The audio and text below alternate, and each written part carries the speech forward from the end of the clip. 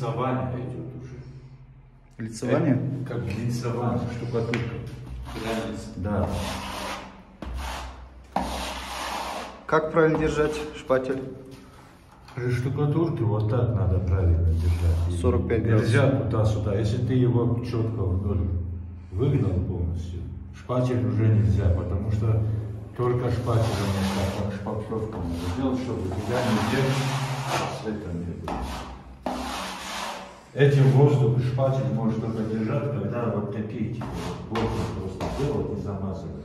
А, Ну, я- ямки, вот ямки. Их, например, спрятать, так ты не спрячешь и не получится.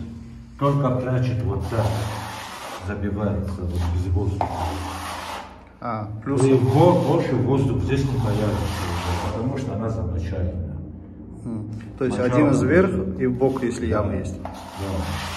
Глянцевание тоже идет, если она гипсовая чисто делает, его можно и даже с этого материала полностью выгнать и по такой.